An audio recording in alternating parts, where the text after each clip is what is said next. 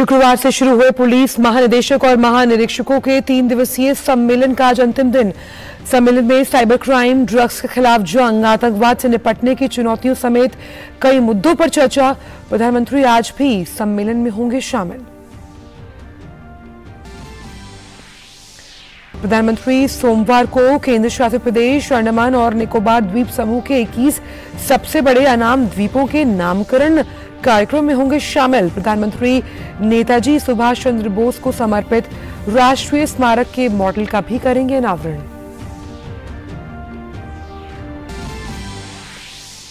मौसम विभाग ने कहा 23 जनवरी से पश्चिमी विक्षोभ के चलते मौसम में आएगा बदलाव। 24 जनवरी को जम्मू कश्मीर, हिमाचल प्रदेश और उत्तराखंड में भारी बारिश की संभावना। दिल्ली के आसपास 24 की रात से 25 के बीच हल्की हो जाती है। बारिश अगले पाँच दिन तक तापमान में गिरावट रहेगी जारी। ब्राज़ील के राष्ट्रपति लूला डिसिल्वा ने सेना प्रमुख अरुड़ा को किया बरखा। सेना प्रमुख अरुड़ा पर प्रदर्शनकारियों के खिलाफ कार्रवाई करने में विफल रहने का आरोप।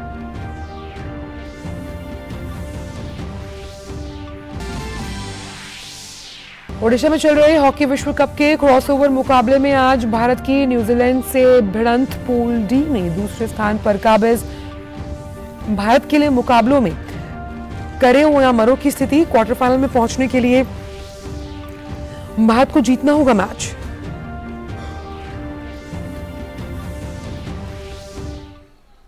नमस्कार, आप देख रहे हैं डीडी न्यूज़ मैं हूँ आंचल गुलाटी गुंबर। आइए अब जान लेते हैं सभी खबरों को विस्तार के साथ। नई दिल्ली में चल रहे पुलिस महानिदेशकों और महानिरीक्षकों के अखिल भारतीय सम्मेलन का आज समापन होगा। प्रधानमंत्री नरेंद्र मोदी आज भी सम्मेलन में भाग लेंगे। तीन दिवसीय ये सम्मेलन शुक्रवार से शुरू हुआ था। सम्मेलन में सभी राज्यों और केंद्र शासित प्रदेशों के पुलिस बलों के डीजीपी और आईजीपी के अलावा केंद्रीय पुलिस बलों और अन्य खुफिया और सुरक्षा एजेंसियों के वरिष्ठ अधिकारी भी हिस्सा ले रहे हैं। बैठक में आतंकवाद, वामपंथी उग्रवाद, साइबर सुरक्षा, ड्रोन के खतरों और मादक पदार्थों की तस्करी जैसे कई विषयों पर चर्चा हो रही है। हर विषय पर राज्यों और केंद्र शासित प्रदेशों द्वारा अपनाए गए सर्वश्रेष्ठ तरीकों को सम्मेलन में दर्शाया गया है। प्रधानमंत्री नरेंद्र मोदी सोमवार को वीडियो कॉन्फ्रेंसिंग के माध्यम से केंद्र शासित प्रदेश, अंडमान और निकोबार द्वीप समूह के 21 सबसे बड़े अनाम द्वीपों के नामकरण कार्यक्रम में शामिल होंगे। आज़ादी के अमृतकाल में परमवीर चक्र से सम्मानित वीर सैनिकों को श्रद्धांजलि स्वरूप इन द्वीपों का नामकरण परमवीर चक्र विजेताओं के नाम पर किया गया है। कार्यक्रम के दौरान प्रधानमंत्री नेताजी सुभाष चंद्र बोस द्वीप बनने पर नेताजी को समर्पित राष्ट्रीय स्मारक के मॉडल का भी अनावरण किया जाएगा। और अब बात करते हैं मौसम को लेकर। उत्तर भारत में अगले हफ़्ते मौसम का मिजाज एक बार फिर बदलने वाला है। मौसम विभाग ने 24 और 25 जनवरी को उत्तर भारत के कई राज्यों में बारिश की भविष्यवाणी की है। मौसम विभाग ने कहा कि आगामी पश्चिमी विक्षोभ के कारण मौसम की स्थिति में बदलाव देखने को मिल सकता है। पहाड़ी क्षेत्रों में 23 जनवरी से ठंड बढ़ने लगेगी और उसका प्रभाव मैदानी क्षेत्रों पर 24 जनवरी से देखने को मिलेगा, जो कि 25 जनवरी को भी जारी रहेगा। मौसम विभाग ने इस दौरान जम्मू कश्मीर, हिमाचल प्रदेश और उत्तराखंड में भी भारी बारिश का अनुमान जताया, जिससे न्यूनतम तापमान में गिरावट की संभावना है। सरकार ने प्रधानमंत्री नरेंद्र मोदी पर बीबीसी की प्रोपोगेंडा डॉक्यूमेंट्री को शेयर करने वाले कई यूट्यूब वीडियोस को ब्लॉक कर दिया। सूत्रों के मुताबिक इस डॉक्यूमेंट्री में विवादास्पद एपिसोड्स को शेयर करने वाले तमाम वीडियो जो हैं यूट्यूब पर उन्हें ब्लॉक कर दिया गया। साथ ही यूट्यूब वीडियोस के लिंक वाले पचास से अधिक ट्वीट्स को भी ब्लॉक करने का निर्देश दिया गया है। प्रधानमंत्री नरेंद्र मोदी पर बीबीसी की प्रोपोगेंडा डॉक्यूमेंट्री का विरोध बढ़ता ही जा रहा है। विदेश मंत्रालय पहले ही इस डॉक्यूमेंट्री को भारत के खिलाफ एक खास किस्म के दुष्प्रचार का नैरेटिव चलाने की कोशिश बता चुका है। वहीं अब देश के तमाम प्रतिष्ठित लोगों ने भी इस विवादास्पद डॉक्यूमेंट्री के खिलाफ मोर्चा खोल दिया। देश के कुल 302 प्रतिष्ठित नागरिकों ने बीबीसी के खिलाफ एक पत्र लिखा। इन लोगों में तेरह सेवानिवृत्त न्यायाधीश, तैतीस राजदूत समेत 133 सेवानिवृत्त नौकरशाह और सशस्त्र बल के एक सौ छप्पन सेवानिवृत्त अधिकारी शामिल हैं। पत्र में कहा गया है कि बीबीसी ने अपनी इस डॉक्यूमेंट्री में स्पष्ट रूप से तथ्यात्मक गलतियाँ की हैं। पत्र में कहा गया कि खुद को स्थापित करने के लिए बीबीसी सनसनीखेज बात पर फल फूल रहा है।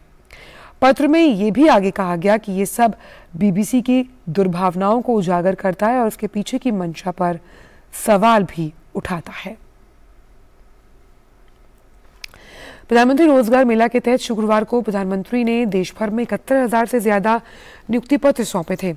इसी मौके पर प्रधानमंत्री ने कुछ नवनियुक्त युवाओं से संवाद किया। इन युवाओं में पश्चिम बंगाल की सुप्रभा विश्वास और श्रीनगर कश्मीर से फैसल शौकत शाह भी शामिल थे। आपकी बहुत छोटी आयु में आपको जॉब मिल गई है तो पढ़ाई तो पूरी नहीं हुई होगी। अब पढ़ाई के क्या सपने हैं, क्या सोच रही हो आप? हाँ सर, मैं पढ़ाई कर रही हूँ इग्नू से ग्रेजुएशन कर रही हूँ अभी। अभी मैं आई गॉट वो की इंटीग्रेटेड गवर्नमेंट ऑनलाइन ट्रेनिंग है, वहाँ से मैं कर रही हूँ। And at last I want to say I have got this क्या अनुभव आता है? आई गॉट कर्मयोगी प्लेटफॉर्म जो बना है, उसका लाभ क्या हो रहा है आपको? सर, ये आई गॉट जो ऑनलाइन प्लेटफॉर्म है, ये खास तौर पर स्किल डेवलपमेंट के लिए बनाए गए हैं गवर्नमेंट एम्प्लॉयज़ के लिए। यहाँ हम अपने ज़रूरत के हिसाब से कोर्सेज कर सकते हैं। यहाँ तरह तरह के कोर्सेज उपलब्ध है। जैसे कि मैं पब्लिक सेक्टर बैंक में जॉब करती हूँ यहाँ पर कस्टमर डीलिंग का बात है। यहाँ पर कस्ट, हम हमें रोज व्यवहार करना पड़ता है। जैसे कि यहाँ पर एक कोर्स है इफ़ेक्टिव कम्युनिकेशन का कोर्स इससे मुझे बहुत ही फ़ायदा हुआ। इससे मेरा communication skills along with writing skills I have improved a lot और यहाँ पर एक और चीज़ है जैसे कि डिस्कशन हब यहाँ कोई भी स्टूडेंट्स फ्रीली ओपनली क्वेश्चंस पूछ सकते हैं और हमारे डाउट्स भी क्लियर होते हैं। फैजल आप भी तो वो आई गॉड कर्मयोगी का ज़रूर लाभ लेते होंगे। उस प्लेटफॉर्म पर आपको कितनी मदद मिली? व्यक्तिगत रूप से आपको क्या बेनिफिट होता है? जी सर नए ज्वाइनीज के लिए जो कर्मयोगी प्रारंभ मॉड्यूल बनाया गया है मैंने उसके सभी आठ कोर्सेज किए हैं। ऑनलाइन होने की वजह से इन कोर्सेज को करना बहुत आसान रहा। प्रारंभ मॉड्यूल का मैंने सेल्फ लीडरशिप कोर्स किया है, जो जिससे मुझे मदद मिली है खुद को बेहतर जानने में। और मैंने code of conduct Word of beginners and Excel पे कोर्स किया है, जिससे मुझे रोज़मर्रा के कामों में मदद मिली है ऑफ़िस के कामों में सर मुझे लगता है इस दौर में खुद को अपस्किल रहना बहुत ही ज़रूरी है। आगे चलकर मैं कर्मयोगी प्लेटफॉर्म से और भी कोर्सेज करना चाहूँगा। जिसकी बदौलत मैं आसानी से ज़िंदगी में आगे बढ़ सकूँ। और अब खबर त्रिपुरा से, जहाँ विधानसभा चुनाव को लेकर सभी राजनीतिक दलों ने चुनावी प्रचार में अपनी ताकत झोंक दी। त्रिपुरा के मुख्यमंत्री माणिक साहा ने डोर टू डोर कैंपेन किया। बता दें कि त्रिपुरा में 16 फरवरी को सभी 60 विधानसभा सीटों पर मतदान होगा और 2 मार्च को मतों की गिनती की जाएगी। और अब बात दिल्ली की आबो हवा को लेकर। राजधानी दिल्ली में वायु गुणवत्ता की स्थिति खराब श्रेणी में बरकरार है। सफ़र के अनुसार पीएम 2.5 का स्तर 211 दर्ज किया गया। वहीं पीएम 10 का स्तर 216 दर्ज किया गया। इससे पहले शनिवार को भी प्रदूषण का स्तर खराब श्रेणी में दर्ज किया गया था। देश भर में चौहत्तरवें गणतंत्र दिवस को लेकर उत्साह का माहौल है। अरुणाचल प्रदेश में असम राइफल्स की खौसा बटालियन ने एक मेगा रिले मैराथन का आयोजन किया। तिरप और लोंगडिंग जिला प्रशासन के साथ सीआरपीएफ ने भी मैराथन के आयोजन को लेकर अपनी अहम भूमिका निभाई। मैराथन में युवाओं और स्कूली छात्रों के साथ 35 से अधिक गाँवों के स्थानीय निवासियों ने भी पूरे जोश के साथ भाग लिया। मैराथन में जिला प्रशासन के अधिकारी भी शामिल रहे। स्थानीय लोगों ने इस दौड़ को आयोजित करने के लिए असम राइफल्स के प्रयासों की सराहना की।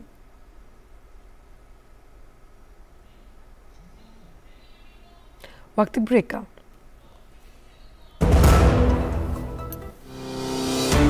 परीक्षा यानी रिज़ल्ट एडमिशन करियर और सक्सेस का प्रेशर इस स्ट्रेस को मैनेज करने क्यों ना ले प्रधानमंत्री नरेंद्र मोदी जी से मोटिवेशन अगर आपको फोकस करना है तो पहले डीप फोकस होना सीख लीजिए। सिर्फ़ परीक्षा के अंक ही ज़िंदगी नहीं है।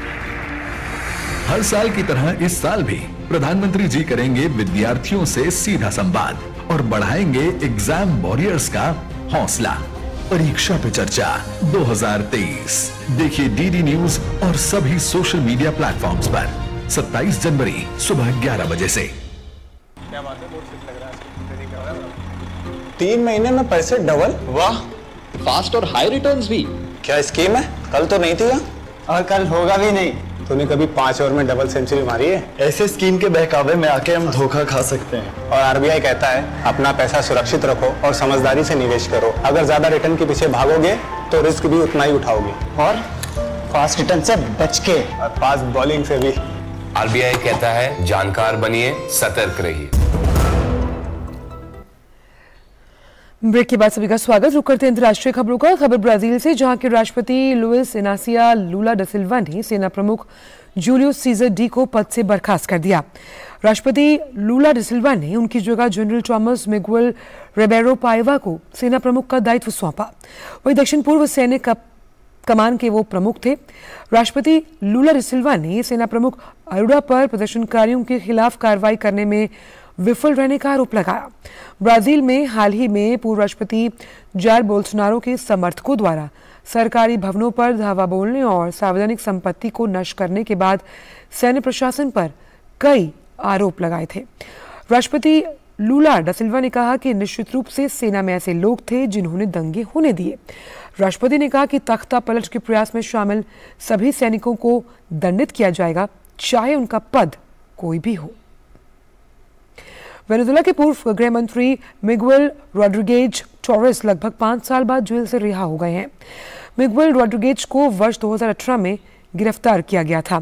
मिगुएल रोड्रिगेज पर सैन्य बलों पर हमला करने की साजिश में शामिल होने का आरोप था। रोड्रिगेज टोरेस की गिरफ्तारी के विरोध में वो भूख हड़ताल पर गए थे। मानवाधिकार संगठनों ने रोड्रिगेज को जेल में प्रताड़ित करने का विरोध किया था। फ्रांस से, जहाँ पेंशन सुधारों की मांग को लेकर विरोध प्रदर्शन जारी है। फ्रांसीसी यूनियंस ने सेवानिवृत्ति की उम्र को बढ़ाने की योजना के खिलाफ बड़े पैमाने पर विरोध प्रदर्शन किया।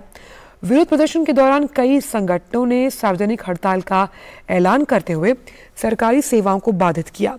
प्रदर्शन के चलते सार्वजनिक परिवहन सेवा बुरी तरह से प्रभावित हुई है। प्रदर्शनकारियों ने कहा कि सरकार ने रिटायरमेंट की आधिकारिक उम्र को बासठ से बढ़ाकर चौसठ करने का प्रस्ताव पेश किया है, जो पूर्ण पेंशन के लिए ज़रूरी न्यूनतम सेवा काल की अवधि को बढ़ा देगा। रुक करते हैं खेल की खबरों को और बात करते हैं हॉकी को लेकर। ओडिशा में खेले जा रहे पुरुष हॉकी विश्व कप में आज भुवनेश्वर में क्रॉसओवर मुकाबले में भारत का सामना न्यूजीलैंड से होगा। भारतीय टीम ने ग्रुप डी में जहाँ दूसरा स्थान हासिल किया और स्पेन और वेल्स के खिलाफ शानदार जीत दर्ज की है, वहीं न्यूजीलैंड की टीम को अभी तक इस विश्व कप में सिर्फ़ चिली के खिलाफ ही जीत मिली। दोनों टीमों के लिए वैसे ये मुकाबला करो या मरो का है, क्योंकि यहाँ जो भी जीत दर्ज करेगा, वो क्वार्टर फाइनल में पहुंचेगा। स्पेन और वेल्स को हराने के बाद भारतीय हॉकी टीम ग्रुप डी में दूसरे नंबर पर है और अब टीम के सामने क्वार्टर फाइनल में जाने की चुनौती है। हरमनप्रीत की सेना फ़िलहाल जिस फॉर्म में है, उसे देखते हुए कीवी टीम से पार पाना मुश्किल भरा नहीं दिखता। लेकिन ओवर कॉन्फिडेंस की डोज हमेशा घातक होती है और शायद इस बात से भारतीय रणबांकुरे खुद को बिल्कुल भी दूर नहीं रखना चाहेंगे। टीम की बात करें तो स्पेन और इंग्लैंड के खिलाफ शानदार प्रदर्शन करने वाले हार्दिक सिंह चोट के चलते न्यूजीलैंड मैच में सामने नहीं होंगे। ऐसे में ये बात ज़रूर टीम इंडिया के लिए एक बड़ा झटका होगी। लेकिन इससे हटकर अगर खेल की बात करें तो एक बार फिर से टीम को पेनल्टी कॉर्नर पर ज़बरदस्त रूप से मेहनत करनी होगी। क्योंकि अगर पहले दो मुकाबलों को उठाकर देखा जाए तो भारतीय टीम को कुल नौ पेनल्टी कॉर्नर मिले थे। जहाँ टीम सिर्फ़ एक को ही गोल में बदल पाई। इसके साथ ही फिनिशिंग पर भी टीम को ध्यान देना होगा, क्योंकि आसानी से भारतीय टीम भी गेंद को गोल पोस्ट में पहुँचाने में सफल नहीं हो रही। लेकिन इसके साथ ही अच्छी तस्वीर ये है कि टीम का डिफेंस बेहद सॉलिड दिख रहा है, जहाँ विरोधी टीम को गोल करने के मौके तक ढूँढने के लिए तरसना पड़ रहा है। भारतीय टीम के पास आकाशदीप सिंह और अमित रोहिदास और खुद कप्तान हरमनप्रीत हैं और इनकी तिकड़ी अपने दिन पर किसी भी विपक्षी टीम पर भारी पड़ने के लिए काफ़ी है। उधर न्यूजीलैंड की बात करें तो इस टीम की विश्व रैंकिंग नौवीं है।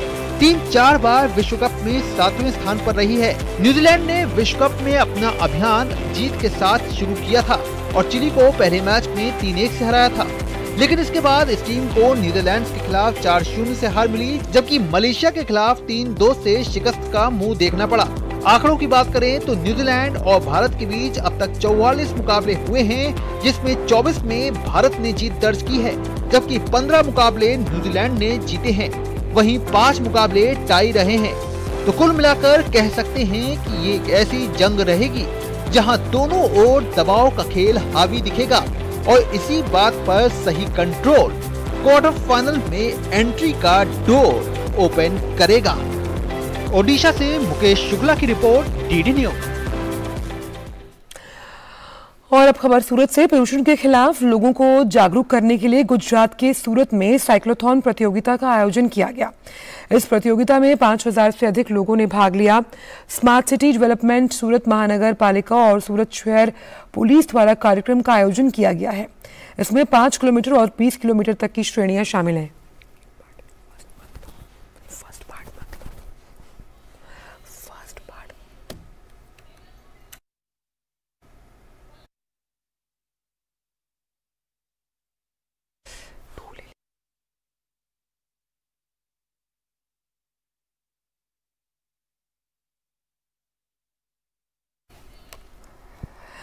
और आइए अब जान लेते हैं मौसम काल की न्यूनतम और अधिकतम तापमान क्या है आपके राज्यों में? आइए नज़र डालते हैं।